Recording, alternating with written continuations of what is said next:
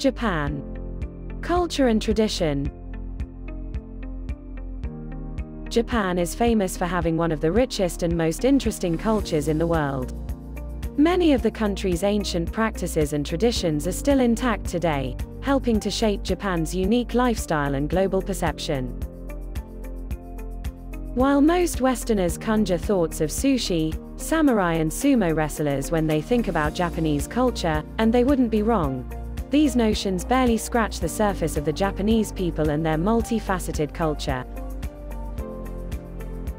Even though Japan, much like other neighboring East Asian countries, has been influenced by China and Chinese culture since the classical times, ever since the United States ended Japan's long period of relative isolation in the 19th century, Japan has opened up to and embraced Western cultures from regions such as Europe and North America.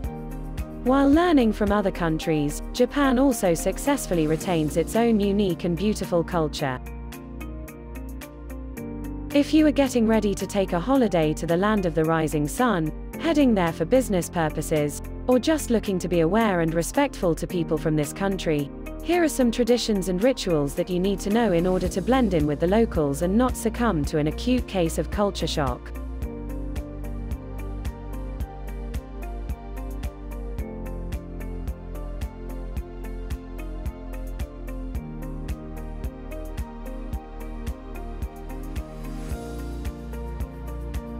Enjoy festivities in Japan.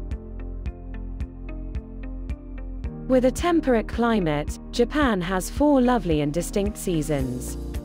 These seasons together with regional differences across the archipelago have given birth to various local cultures, customs, as well as matsuri, or festivals, in Japan. Deriving from the country's unique Shinto religion, these festivals are closely related to Japanese people's religious beliefs as well as customs developed in Japan's agrarian past. Festivals, apart from a few exceptions, are usually clustered around traditional holidays.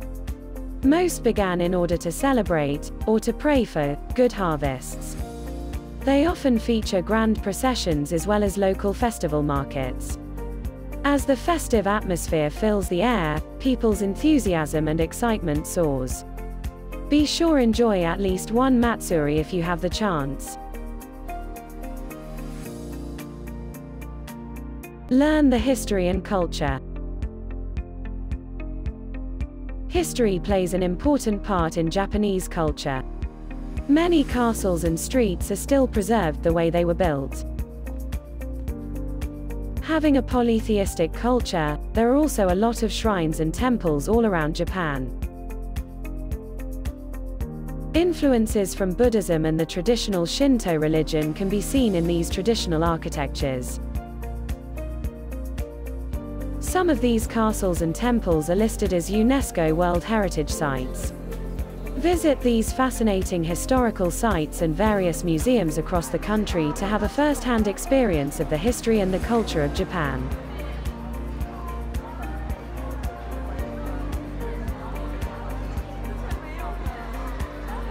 Temples and shrines The histories of temples and shrines can go back hundreds to even thousands of years. Take a trip to these temples and shrines and learn about how culture and aesthetics are deeply rooted in the daily life of every Japanese people. Used to be imperial capitals of Japan in different historical periods, Kyoto and Nara are both ancient cities with rich history and culture. With many temples and shrines with historical meaning well preserved, Kyoto and Nara are both listed as historic monuments in the list of UNESCO World Heritage Sites.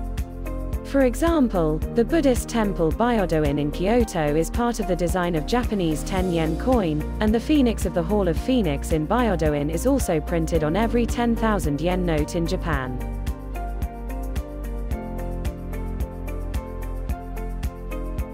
Japan's castles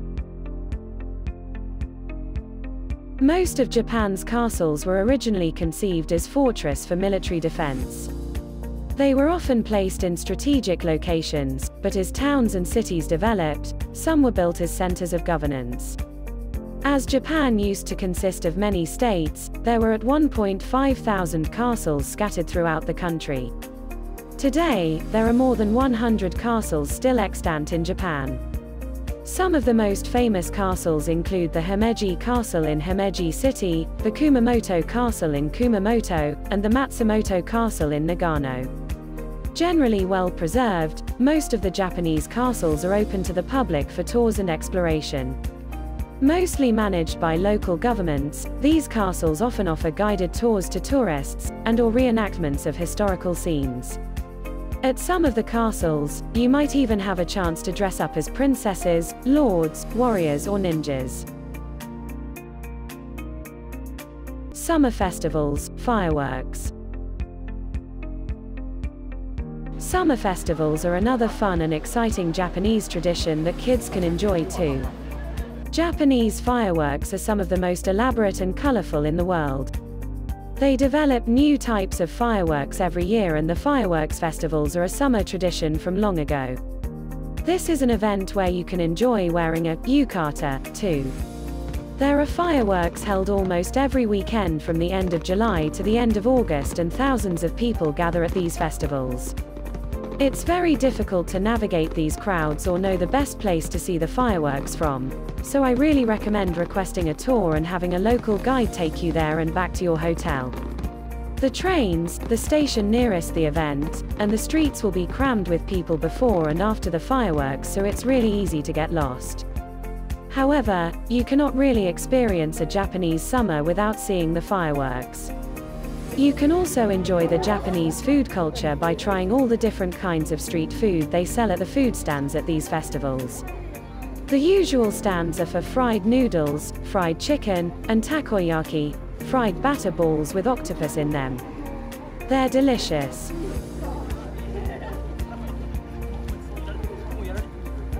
Cherry blossom viewing. As you know, spring is all about seeing the cherry blossoms in Japan.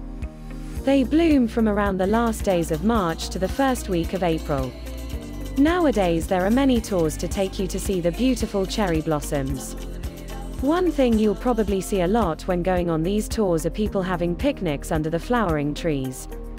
This is a custom called ohanami, or literally cherry blossom viewing.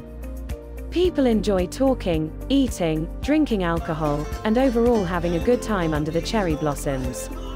Doing this at night is called yozakura, or night cherry blossoms. Night picnics tend to have more alcohol and get more rowdy with drunk people. Even when there are no lawns to sit on, they spread plastic sheets on the asphalt pavement of the walkways and just have their picnic there. There are so many people in the parks on weekends that you'll want to go on a weekday if possible. And make sure to dress warmly as it's still very chilly after sunset in spring.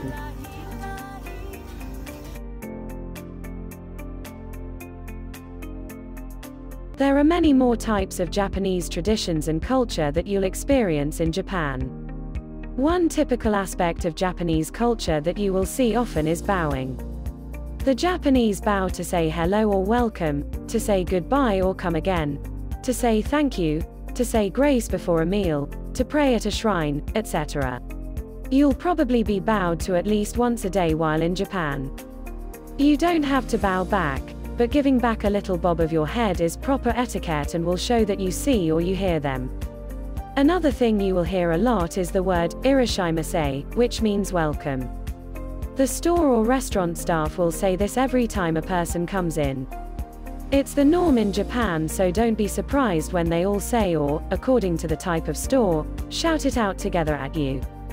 There are also Japanese cultural traditions that you can experience and enjoy together with the local people.